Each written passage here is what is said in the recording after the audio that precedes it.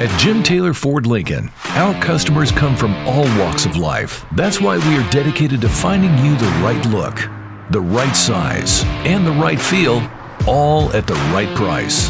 Thank you for allowing us to serve you in this community that we call home.